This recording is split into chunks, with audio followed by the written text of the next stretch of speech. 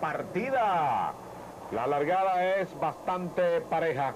Por la parte interior de la cancha viene el caballo sin dudar con Benidor a pelear por el... Eh, Sindabat con Benidor a pelear por el primer lugar quedó en el tercer puesto, plazo fijo, cuarto y último, sin dudar.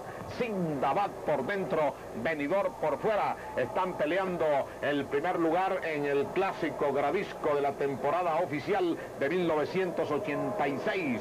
Domina ligeramente el caballo Sindabad, insiste por fuera Benidor, viene sin dudar para el tercero, plazo fijo corre en el cuarto y último lugar.